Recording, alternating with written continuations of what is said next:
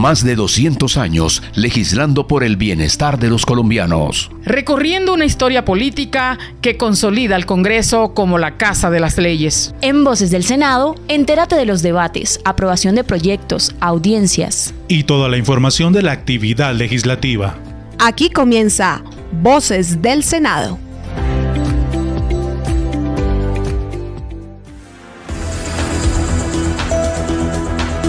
Muy buenos días, hoy es sábado 29 de octubre del año 2022. Esta es la emisión de hoy de Voces del Senado, el programa institucional del Senado de la República que se transmite por las 53 emisoras de la Radio Nacional de Colombia.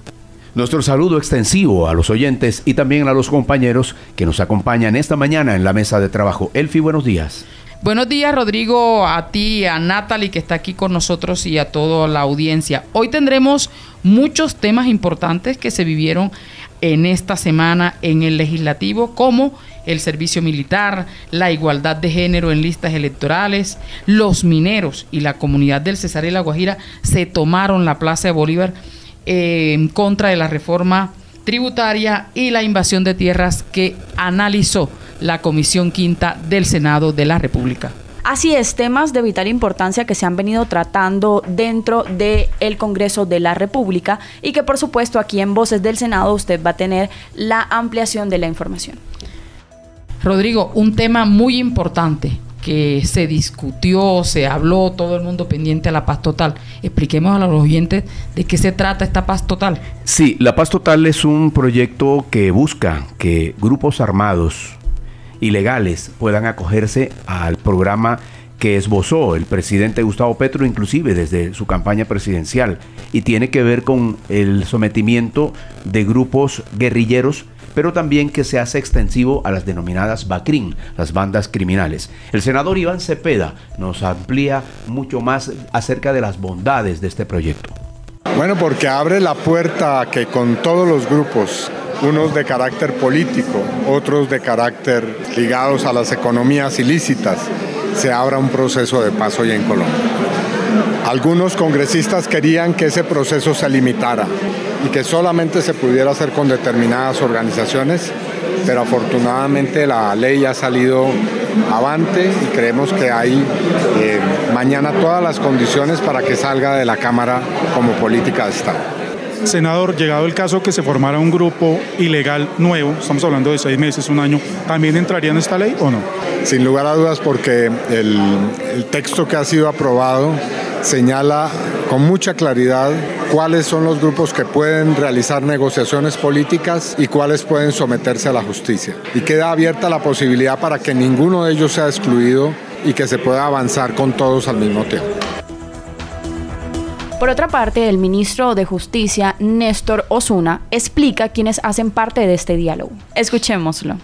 Porque llevamos mucho tiempo matándonos y es la oportunidad de dejar de hacerlo. Se han hecho distintos procesos de paz que todos conocemos, pero no hemos logrado dejar la violencia atrás. Esta es la oportunidad de hacerlo, hablando con todos, los, aquellos con los que nunca se ha dialogado, con los que ha habido diálogos frustrados, los que han traicionado procesos de paz anteriores, los que no tienen fines políticos sino fines criminales. En fin, todos los actores de la violencia van a tener uno, creo que puede ser el último llamado a hacer de este país un país en paz. Por eso vale la pena.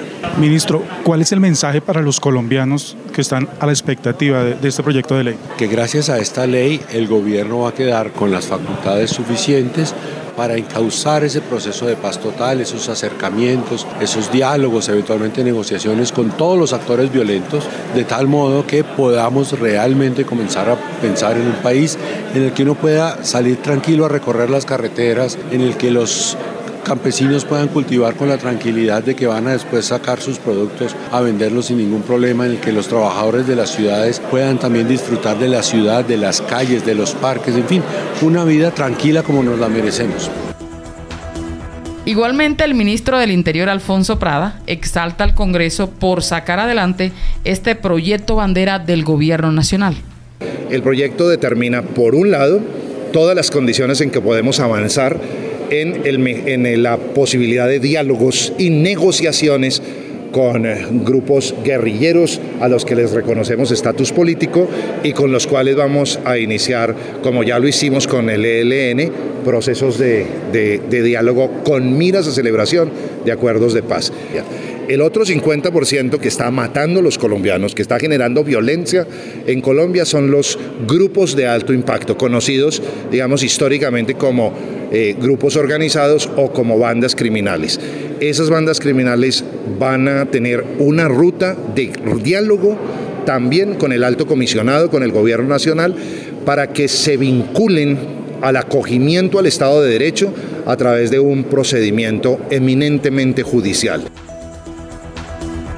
Y el comisionado nacional de paz, Iván Danilo Rueda, habla acerca del impacto que este proyecto va a tener en los territorios, como quiera que lo que se denomina la Colombia profunda es aquella región del país que ha sufrido mayormente los rigores de la guerra. Eh, este proyecto de ley es importante porque da unas facultades específicas para lograr un diálogo múltiple con diversos grupos armados al margen de la ley, no solamente con aquellos que están ejerciendo el derecho a la rebelión como el ELN, sino con otro grupo de expresiones armadas que no son rebeldes. Eso es lo fundamental. Y hoy acabamos de observar cómo una mayoría ha aprobado un artículo fundamental para que se puedan desarrollar esas conversaciones con esa diversidad de grupos armados. Bueno, la política de paz total cobijaría a los que ya firmaron el proceso anterior y ahora son decedentes. Eh, la aprobación que se ha dado nos da posibilidad de continuar, eh, pasar de esa fase de acercamientos a iniciar conversaciones con aquellos grupos que, participaron en un proceso eh, como fue la firma del Teatro Colón y nos habilita a abrir un escenario de conversación y eso es importante. Estamos hablando de la segunda Marquetalia, pero también nos abre la posibilidad de hablar con lo que se conoce como disidencias y que se llaman asimismo Estado Mayor Central de las FARC, que fueron los no firmantes del proceso del Teatro Colón. Y adicionalmente nos da posibilidades de conversar con las autodefensas gaitanistas de Colombia, llamadas Clan del Golfo. Así que creo que es un triunfo y es un triunfo de la gente de los territorios, de la gente que está en una condiciones inenarrables que el país desconoce por las operaciones armadas que se vienen dando después del proceso de la firma del Teatro Colón y que si no dialogamos, si no buscamos unas salidas distintas al ejercicio de la fuerza, pero acompañadas de, una, de un ejercicio de la fuerza que posibilite su legitimidad en el respeto a los derechos humanos y el derecho internacional humanitario, difícilmente vamos a lograr que Colombia sea un Estado social y ambiental de derecho que es el Estado que todos y todos nos merecemos, el que está en la Constitución del 91. Están escuchando Voces del Senado. Continuamos en Voces del Senado con los temas que han sido noticia esta semana en el legislativo. La Comisión Primera dio tránsito a iniciativas en favor de la mujer y su rol en la política. Alexander Ariza nos amplía la información.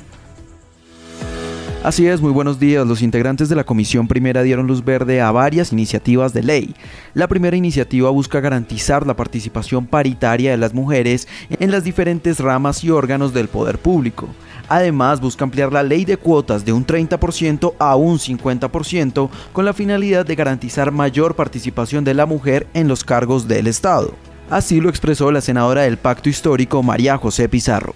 A nivel mundial, por cada cuatro hombres solo hay una mujer en los altos cargos de decisión. Me parece una cifra pues muy corta. Y en nuestro país, aunque tenemos un marco legal que es la ley de paridad y varias disposiciones legales que apuntan hacia la paridad, los mecanismos siguen siendo aún absolutamente insuficientes. Adicionalmente, se dio luz verde al proyecto que propone establecer el agua como un derecho especial de protección constitucional y de esta manera priorizar el consumo humano y garantizar a los colombianos un recurso de calidad. El ponente por la coalición Centro Esperanza, JP Hernández, dijo lo siguiente. Lo que se propone es establecer en un principio el agua como derecho fundamental de especial protección constitucional. Hoy tenemos eh, la constitución política y en ella, aunque podemos decir que el agua aparece como un derecho, aparece como un derecho de conexidad con otros derechos. necesitamos que el agua aparezca en la Constitución, sea incluida como un derecho fundamental de especial protección constitucional. Finalmente se dio vía libre para discusión en la plenaria el proyecto de ley estatutaria por medio del cual se establecen medidas para prevenir y erradicar la violencia contra las mujeres en la vida política, así como hacer efectivos los derechos a la participación política de las mismas en todos los niveles. La senadora María José Pizarro afirmó. No pueden acceder a los recursos de los partidos con igualdad porque son prioritariamente para los hombres, para los grandes líderes políticos. La violencia física la MOE, de las 516 vulneraciones registradas, la tercera parte, es decir, 45, fueron homicidios a lideresas políticas, a mujeres, fueron asesinadas por ser mujeres en la política. Es más, el 2022 fue el año más riesgoso y paradójicamente fue el de mayor representación. Quiere decir que entre más mujeres están en la política, más hostil y más violento se vuelve el entorno. Voces del Senado, Alexander Ariza. Seguimos con temas del legislativo. La Comisión Quinta Constitucional del Senado de la República abordó un tema bien difícil, eh, la situación de la invasión de tierras que ha generado desigualdad, muertes, violencia y a la cual el gobierno actual desea darle pronta solución. Natalie Sánchez tiene los detalles. Desde la Comisión Quinta, los senadores adelantaron un debate con el fin de analizar uno de los puntos contemplados dentro de la reforma agraria, como lo es el tema de la invasión de tierras. Esto dado que el aumento de la ocupación ilegal de predios en los diferentes departamentos del país ha encendido las alarmas en los diferentes sectores. El senador Marcos Daniel Pineda del Partido Conservador manifestó cuáles serían las principales consecuencias ante la invasión ilegal de tierras, que son 1. la pobreza, 2. la inseguridad y 3. la mala planeación del territorio. En un informe que pedía la Defensoría del Pueblo, llevamos 254 casos en Colombia desde el año 92 hasta el 2022. Sí, esto ha sido, esto ha sido una problemática recurrente, año tras año.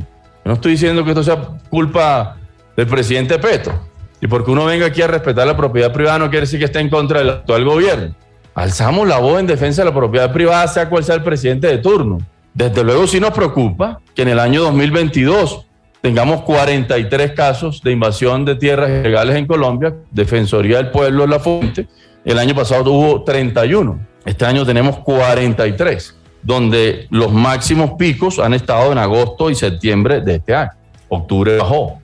A la cita asistió la ministra de Agricultura Cecilia López Montaño, quien ratificó el compromiso del Gobierno Nacional con la titulación de más de 6.000 hectáreas de tierra que beneficiarán a campesinos, indígenas y afrodescendientes, lo que permitirá disminuir esta problemática. Desde el Ministerio de Agricultura la reacción es demostremos que la reforma agraria es una realidad, que la reforma agraria es una una política que se va a implementar, que sí se va a iniciar un proceso de distribución de tierra.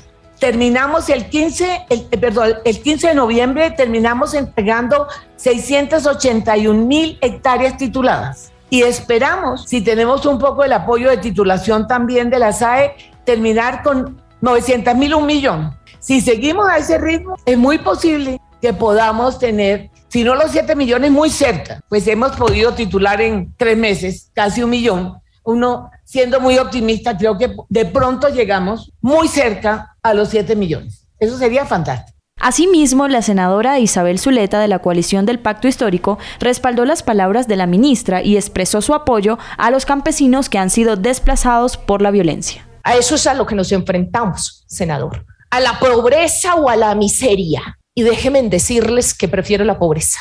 Y yo sí los acompaño ahí donde estén, en donde me toque estar con ellos, o debajo del puente o en esas tierras ocupadas. ¿Cuántas son las tierras Actualmente en Colombia, según los datos de la Defensoría del Pueblo, se registran más de 108 invasiones en 26 municipios de los departamentos de Antioquia, Atlántico, Cesar, Guainía, Huila, Magdalena, Valle del Cauca y Vichada. De esta manera, los integrantes de esta célula legislativa coincidieron en seguir trabajando por brindar una ruta clara para los colombianos y colombianas ante las políticas públicas vinculadas a la reforma agraria. Natalie Sánchez Gual, Voces del Senado. En su radio, Voces del Senado. Y continuamos en Voces del Senado con un tema que ha venido siendo de vital importancia en las últimas semanas, y es con respecto a los empleados del sector minero y las comunidades de los departamentos del Cesar y La Guajira, quienes se tomaron la Plaza de Bolívar para rechazar la reforma tributaria. Nuestra periodista, Elfi Galeano, nos amplía la información.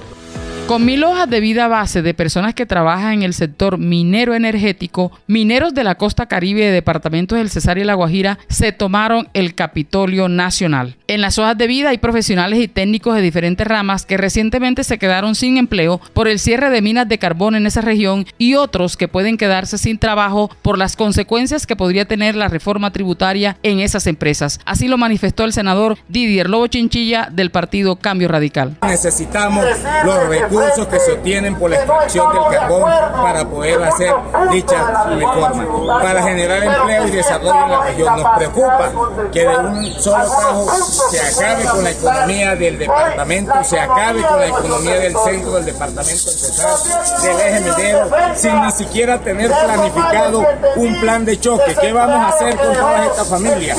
Con esas señoras que viven de lavar ropa, con las personas que viven de alquilar habitaciones en su que tienen 10, 12 habitaciones y las alquilan, con el comercio, con el tendero, con los restaurantes. Esto es una cadena, una cadena que depende de la extracción minera y por supuesto del eje minero es donde está la cadena más pequeña que es la que se ve golpeada porque hoy no hay capacidad de industria en el departamento. Un grupo de manifestantes y trabajadores también hizo un acto fúnebre pidiendo al gobierno que no dejara morir al departamento. Los manifestantes aseguraron que se tomarán vías de hecho en la región de no ser escuchados por el gobierno nacional. Andrés Mojica, vocero de las comunidades, aseguró que son más de mil empleos que se pierden en el departamento del Cesar. Que nos escuche, básicamente, que nos, que nos escuche como territorio, como personas, precisamente, que le dimos el voto de confianza para que nos administrara y gobernara eh, la nación. Hoy tenemos una problemática en el departamento del Cesar puntual y es el cierre de una mina que dejó a más de 12 mil familias sin empleo. Eso hoy nosotros a desde el año 2020 eh, estamos pidiendo que se entreguen esos títulos nuevamente a la empresa que sea, no nos interesa cuál, sino que se reactive la economía. Eso significaría este gobierno que ha echado tanto número frente al tema de la reforma tributaria, 4 billones más durante su periodo que se pagarían en regalías con la apertura, reapertura de esta mina. Y 12 mil familias trabajando en el departamento del Cesar que nos dinamizaría la economía que bien golpeada que la tenemos. El otro punto que hemos venido aquí para que nos escuche el Gobierno Nacional y el Congreso de la República es la fórmula o el precio bajo el cual van a liquidar el próximo bienio el valor del carbón. No puede ser que cuando tenemos los mejores precios del carbón, ahora en la aprobación del plan, el, presupuesto general de la nación, puedan entonces bajarle el precio al carbón y eso significa que nos lleguen menos recursos al territorio. Eso también hemos venido a hablar aquí. Otro tema de mucho interés en la plenaria del Senado estuvo relacionado con el servicio militar obligatorio. Un acto legislativo pretende su desmonte gradual. Rodrigo, ¿de qué se trata este tema que tanto ha dado de qué hablar en plenaria? Sí, Elfi, el senador Humberto de la Calle presentó un proyecto de acto legislativo que busca hacerle una modificación al servicio militar obligatorio actualmente en Colombia y que a mediano y largo plazo este servicio pase a ser voluntario y que se le dé la oportunidad a jóvenes que desean prestar el servicio, servirle a la patria con las armas, lo, lo hagan. Pero en la contraparte, quienes no deseen hacerlo, pues puedan prestar un servicio social que también es una de las alternativas que se plantea en este proyecto. Se trata de una norma constitucional que ya no tiene las restricciones que se alegaban en el día de ayer se abre la posibilidad de distintas líneas de prestación del servicio, servicios para lo militar si voluntariamente un joven cree que ese es su proyecto de vida. En la comisión primera, el general miembro del Estado Mayor dijo esa frase y a mí me impactó mucho. Dijo, no prohíban el servicio, quítenle la obligatoriedad, porque un joven puede tener el deseo de servir a la patria empuñando las armas o sirviendo como guardián de los derechos en las filas de la policía. De otro lado, el senador Manuel Virgüez, quien tiene experiencia militar, destacó que algunos muchachos que prestan el servicio militar obligados en algún momento pueden aburrirse allí en el campo militar y terminan desertando. Entonces esa acción se convierte en un delito y estos chicos pueden ir inclusive a la cárcel. Con esta medida se evita que el que un joven abandone el servicio militar lo vaya a convertir en un delincuente. El senador Manuel Virgüez aclara el tema. Fui funcionario de la justicia penal militar durante ocho años. El 70% de los casos que revisa la justicia penal militar se llama delito de deserción. ¿Cuál es ese delito? Es el que cometen los soldados que prestan el servicio militar obligatorio porque son obligados a prestar el servicio. Y uno leyendo el expediente de estos jóvenes en sus declaraciones advierte inmediatamente la injusticia que se está cometiendo. Los obligamos a prestar el servicio militar, les aplicamos la ley penal, pero no les aplicamos la ley laboral. Es importante resaltar que esta iniciativa modifica el artículo 216 de la Constitución Política, el cual quedará de la siguiente manera. La fuerza pública estará integrada en forma exclusiva por las fuerzas militares y la Policía Nacional. Solo se permitirá el servicio militar obligatorio en casos de guerra exterior o conmoción interna. Otra iniciativa que tuvo fuertes discusiones en el Senado de la República fue la reducción del salario de los congresistas, que fue aprobado en segundo debate. Escuchemos a la senadora Paloma Valencia. El proyecto es muy sencillo.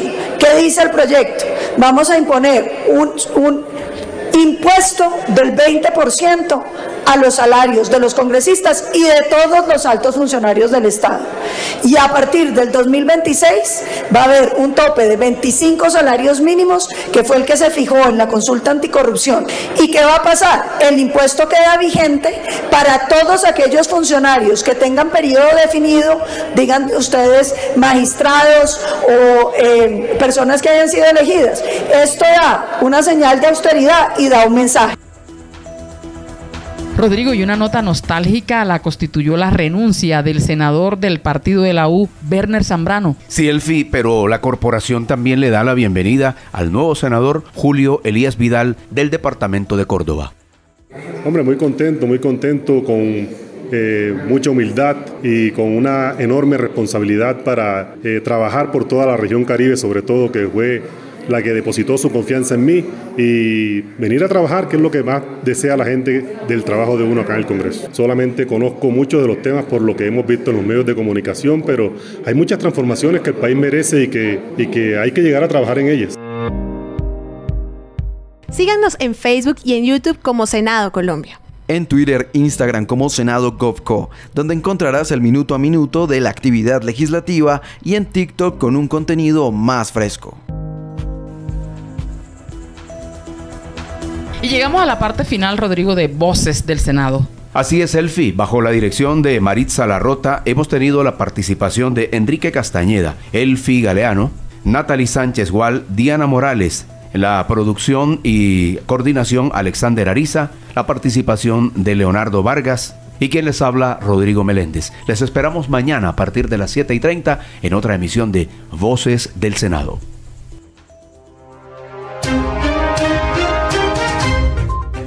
Voces del Senado. Iniciativa de la mesa directiva en cabeza del presidente Roy Leonardo Barreras. Primer vicepresidente Miguel Ángel Pinto. Segundo vicepresidente Honorio Enrique Pinedo. El secretario general Gregorio El Hash Pacheco y la directora administrativa Astrid Salamanca Raín.